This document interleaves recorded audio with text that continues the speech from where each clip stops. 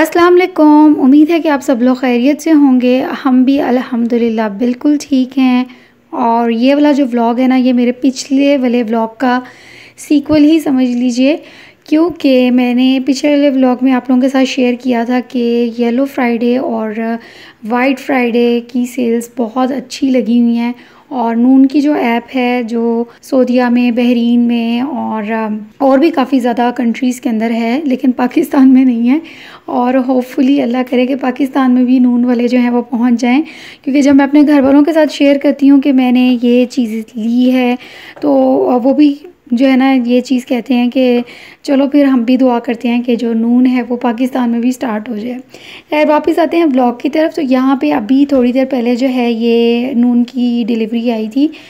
मैंने last blog में आप लोगों को कुछ बेड शीट्स बताई थी और बताया था कि मैंने फ़र्स्ट टाइम जो है वो सोदिया से बेड शीट्स जो हैं वो ऑर्डर की हैं और नून की अपनी जो बेड शीट्स हैं, उनकी क्वालिटी बहुत ही ज़बरदस्त है। तो ये वाली जो बेडशीट है, ये अफ़ान के बेड के लिए मैंने ऑर्डर की थी। इसकी जो थीम है, वो बिल्कुल गलेक्सी जिस तरह होती है ना, उस तरह की थी। वैसे इसकी ओरिजिनल जो प्राइस है, वो थी टू फोटी फाइव लेकिन ये एक दिन के लिए और सिर्फ़ एक घंटे के लिए, एक घंटे के अंदर अंदर इसके ऊपर ऑफ़र आई थी नाइनटीन रियाल में। और इस बेडशीट के अंदर टू पिलो कवर्स थे वन जो थी वो बेडशीट थी सिंगल बेड शीट थी फिटेड नहीं थी और उसके अलावा डुएट कवर था तो बहुत अच्छी डील थी और स्टफ़ भी जो है वो इसका काफ़ी अच्छा था। तो अब जो है वो नेक्स्ट चीज़ के ऊपर आ जाते हैं। ये जो है ना, ये दो तीन दिन के गैप से व्लॉगिंग मैंने की थी, क्योंकि आजकल जो है वो ज़्यादा मुझे वीडियोस बनाने का टाइम नहीं मिल रहा, क्योंकि आप लोगों को लास्ट व्लॉग में बताया था मैंने कि अफ़ान जो है वो नीचे गिर गया था और उसकी फिर जो है वो बाजू की सर्जरी वगैरह हुई थी। तो उस वजह से जो है ना, मेरी मसरूफियत थोड़ी बढ़ गई हुई है। तो ये भी मैंने ऑर्डर किया था नून ईस्ट का ही ये नून ईस्ट के ब्रांड का ही है, ये भी वॉफल मेकर कहते हैं इसको वॉफल मेकर है, लेकिन इसके अंदर जो है ना वो फाइव डी अटैचेबल प्लेट्स हैं, यानी डिफरेंट आप इसमें इससे काम ले सकते हैं और वेराइटी ऑफ़ थिंग्स जो है वो आप प्रिपेयर कर सकते हैं। अब वो आपके ऊपर डिपेंड करता है कि आप किस किस तरह जो है ना वो क्रिएटिव आइडियाज़ निकाल निकाल के अपने घर वालों को इम्प्रेस कर सकते हैं। तो लिया मैंने इसको ज़्यादा जो था वो वॉफल मेकर के लिए था, क्योंकि मेरे जो बच्चे हैं वो पैन और वॉफल वॉफल्स जो हैं वो काफ़ी शौक से खाते हैं। तो ये आते ही बस मैंने इसकी प्लेट अटैच की थी। पहले इसके ऊपर जो है ना वो वाली लगी हुई थी ग्रिल वाली। तो वो उतार के मैंने दूसरी वॉफल्स वाली प्लेट लगाई थी ताकि मैं इसका रिज़ल्ट फटाफट चेक कर सकूँ। और बैटी क्रॉकर का जो मेरे पास मिक्सचर है वो पहले का पड़ा हुआ था। पैन केक्स का और इसका भी ऑलमोस्ट रेसिपी सेम होती है। बस ये होता है कि वॉफ़ल मेकर का जो मिक्स वॉफ़ल मेकर कह रही हूँ वॉफ़ल्स के लिए जो मिक्सचर होता है, वो थोड़ा सा थिक कंसिस्टेंसी का होता है। और पैन केक्स जो होते हैं, वो थोड़े से रनी होते हैं। तो बस अब मैं इसका रिज़ल्ट चेक करने लगी हूँ उसमें डाल के। और पहली जब मैंने एक शिफ्ट डाली ना तो मैंने जो डालने वाली शिफ्ट थी ना, उस टाइम मुझे याद ही नहीं रहा और मैंने वीडियो नहीं बनाई तो फिर जो है वो सेकेंड टाइम अब जब मैं डाल रही हूँ ना तो इसको फिर मैं अब रिकॉर्ड कर रही हूँ ताकि मैं आप लोगों के साथ भी शेयर कर सकूँ कि इसका रिज़ल्ट कैसा था। तो रिज़ल्ट वॉज़ एक्सीलेंट बहुत अच्छा रिज़ल्ट था।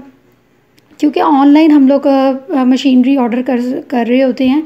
और ऑनलाइन भी जो ऐप्स हैं, वो भी चारे भी उनके भी वेयर हाउस के अंदर ही स्टॉक पड़ा होता है। तो उनको ख़ुद भी नहीं पता होता कि पैक डब्बे के अंदर जो चीज़ है, वो किस तरह की है। लेकिन नून वालों की ये पॉलिसी बहुत अच्छी है कि अगर आपकी कोई चीज़ ख़राब निकल आए, या उसमें क्रैक हो, या कुछ हो तो वो फ़ौर जो है वो उसको वापस कर देते हैं। आपके पैसे भी फ़ौर वापस आ जाते हैं। और आप दोबारा जो है वो फिर ऑर्डर कर सकते हो। अब ये तीसरी चीज़ है, ये भी नून ईस्ट के ब्रांड की असल में मेरे साथ हुआ ये था कि मेरा जो चॉपर है वो ख़राब हो गया था। और उसी दिन जब मैं सुबह, उसके नेक्स्ट डे जब मैं उठी सुबह तो मैंने नून की ऐप क्योंकि सुबह उठते ही मैं अब देखती हूँ ज़रूर। तो उसमें जो ये वाला, इसका पूरा सेट है फ़ूड फैक्ट्री का, ये लगा हुआ था सिक्सटी नाइन रियाल का। वॉफ़ल मेकर भी मैंने लिया था। वो ऑफ़र में आया था सिक्सटी नाइन रियाल का। वैसे उसकी ओरिजिनल प्राइस है वन एटी नाइन रियाल। और फर्दर कोड लगा के जो है वो दो से तीन रियाल मज़ीद डिस्काउंट मिल गया।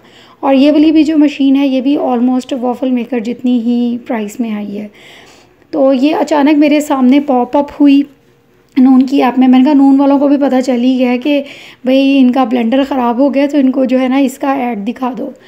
तो मैंने जल्दी से जो है वो फिर ये भी ऑर्डर कर ली और फिर सेल का सीज़न हो तो फ़ायदा ज़रूर उठाना चाहिए, चाहे बंदा जितना मर्ज़ी अमीर हो सेल लगती है तो अमीर से अमीर बंदे की भी जो राल है ना वो ज़रूर टपकती है। चाहे घर में आपके पहले से वो चीज़ मौजूद हो, लेकिन दिल जो है ना वो बहुत ज़्यादा करता है कि लें अभी और भी बहुत ज़्यादा चीज़ें हैं जिसको लेने का मेरा बहुत दिल करता है, लेकिन मैं ख़ुद पे बहुत ज़्यादा कंट्रोल भी करती हूँ, क्योंकि यहाँ पे जो है ना सऊदिया का जो घर है, जहाँ पे हम रहते हैं फ्लैट में तो किचन की जो शेल्फ्स हैं, उनमें इतनी ज़्यादा स्पेस नहीं है कि आप जो क्रॉकरी है, वो ले लेके स्टोर करते जाओ। पाकिस्तान हो, अपना घर हो तो वो एक अलग बात होती है। और यहाँ से दूसरी बात यह है कि कोई पता नहीं कि कब, जो है, वो जाना पड़ जाए। तो इतना ज़्यादा फिर जो सामान है वो लेकर जाना और इस तरह की जो टूटने वाली चीज़ें हैं, वो फिर जो है ना, अगर आप एक दफ़ा महँगी भी चीज़ें अपने पास लेके रख लो ना तो फिर आपको अफसोस होता है। क्योंकि जाते वक्त यहाँ से काफ़ी लोग जब गए हैं और उन लोगों ने अपनी चीज़ों को सेल आउट करने की कोशिश की है तो वो बिल्कुल कोड़ियों के भाव भी नहीं बिकती। वो ऐसे ही बाज़ लोग तो ऐसे ही अपनी चीज़ों को छोड़ के गए हैं। खैर, वापस आते हैं। आज हम लोग आए हैं हॉस्पिटल अफ़ान का जो है वो ऑलमोस्ट टू वीक्स के बाद चेकअप था। डॉक्टर ने एक्सरे वगैरह करना था और उसकी पोजीशन चेक करनी थी कि उसकी जो रेस्ट है, उसके क्या हालात हैं। तो यहाँ पर हम लोग अभी आए हैं दल्ला हॉस्पिटल में।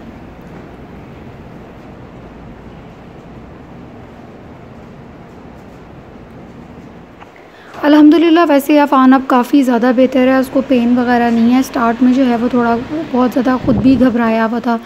और ये बस हुआ है कि मेरी थोड़ी सी रिस्पॉन्सिबिलिटी जो है वो थोड़ी बढ़ गई थी। क्योंकि उसने अगर कोई स्कूल अगर उसका ऑनलाइन चल रहा है, उसको कोई बुक्स वगैरह निकालनी है, या उसके अलावा उसको पानी पीना है, या खाना खाना है, या वॉशरूम जाना है तो उस सब के लिए जो है ना वो फिर मुझे उसकी हेल्प करनी पड़ी। तो मेरा जो काम है ना उसमें थोड़ा सा इजाफा हो गया था। लेकिन मैंने अल्लाह का बड़ा शुक्र अदा किया कि अल्लाह ताला ने मुझे इतनी ताकत और हिम्मत दी कि मैं आज अपने बच्चे को जो है वो ख़ुद संभाल रही हूँ। और आज से दो साल पहले इन्हीं दिनों में जो है वो मेरी सर्जरी हुई थी ब्रेस्ट की। तो वो दिन और ये दिन मैं याद करती हूँ तो मैं अल्लाह का बहुत शुक्र अदा करती हूँ। ये वाली जो बिल्डिंग है दल्ला हॉस्पिटल की, जो बेसमेंट से हम लोग इस वाले रास्ते से जा रहे हैं, ये बिल्कुल न्यू जो है वो बनी है और बहुत ही कमाल का जो है ना इसका आर्किटेक्ट है। यहाँ से जब हम गुज़र रहे थे तो अफ़ान मुझे कह रहा था, मामा, बिल्कुल ऐसा लग रहा है जैसे हम लोग जो है ना वो जहाज़ में एंटर होने के लिए जा रहे हैं। वो जो टनल से एक बनी होती है, जिधर से गुज़र के जाते हैं। तो मैंने कहा हाँ बिल्कुल आप ठीक कह रहे हो। और एंटर होती यहाँ पर इतनी ज़्यादा कॉफ़ी की मज़ेदार किस्म की खुशबू आ रही थी। तो अब जब हम आगे आए हैं तो देखा कि ये यहाँ पर डंकिंग डोनट्स की काफ़ी बड़ी सी जो है वो एक बार बनी हुई है। तो यहीं से जो है वो कॉफ़ी की खुशबू उठ रही थी। और वैसे भी ये जो नई वाली बिल्डिंग बनी है, पहले कभी मैंने इस तरह नहीं देखा इस हॉस्पिटल में। तो अब जगह जगह जो है वो इन्होंने पॉइंट्स बनाए हुए हैं, जिस पे कॉफ़ी की मशीन भी लगी हुई है और पानी की भी और उसके अलावा खाने पीने की भी। और जो लोग सऊदीया में रहते हैं, उन लोगों को ये बात बखूबी पता है कि यहाँ पे हालाँकि होती तो गर्मी ज़्यादा है, इतनी ज़्यादा सर्दी नहीं होती है। तो लेकिन यहाँ के जो लोग हैं, वो चाहे गर्मी हो, चाहे सर्दी हो, कॉफ़ी जो है ना, वो बहुत शौक से पीते हैं। चाहे वो फ़ैशन के तौर पे पीते हों या जिस तरह मर्ज़ी करते हों, लेकिन यहाँ पे कॉफ़ी का जो क्रेज़ है, वो बहुत ही ज़्यादा है। जगह जगह जो हैं, वो आप अगर बाहर भी निकलते हो तो जगह जगह आपको कॉफ़ी के पॉइंट्स मिलेंगे। आराम से रन करो थर्ड फ्लोर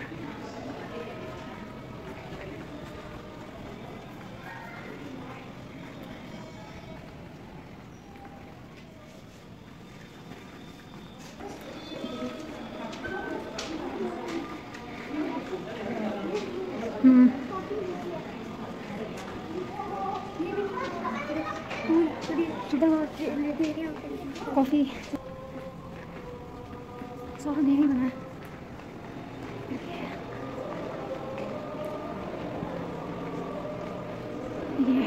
सेंटर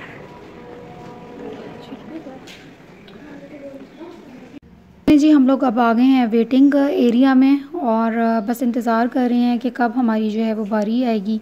पहले अभी अफ़ान को बुलाएँगे इसका टेम्परेचर वगैरह और वेट हाइट वगैरह सब कुछ चेक होगी, जो कि एक प्रोटोकॉल होता है। यहाँ पे किसी भी हॉस्पिटल में जाओ तो सबसे पहले यही काम होता है।